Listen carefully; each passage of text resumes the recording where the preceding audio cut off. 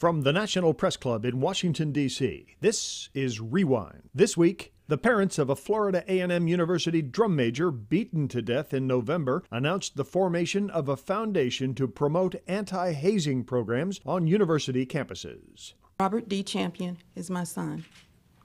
And we have a foundation, the Robert D. Champion Drum Major for Change.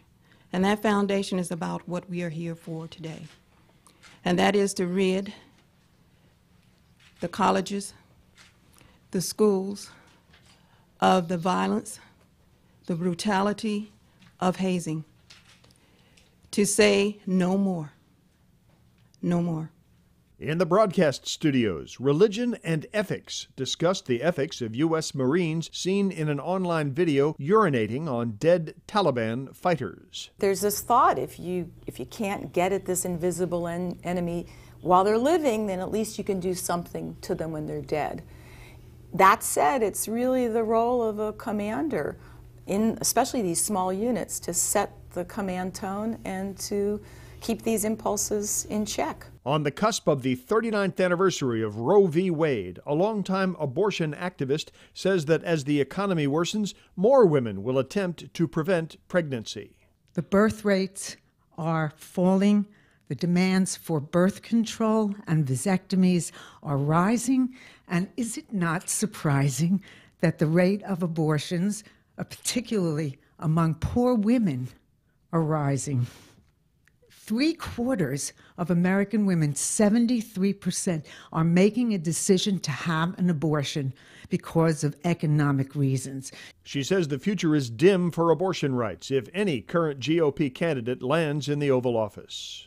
I think they're jumping over themselves uh, like kangaroos to show who is more anti choice than the previous one. It's extraordinary. Each and every single candidate has specified unequivocally that they would overturn Roe v. Wade. A report released this week states homelessness is down 1% in the last two years, but one congresswoman says it is just the beginning of another year of people sinking deeper and deeper into poverty.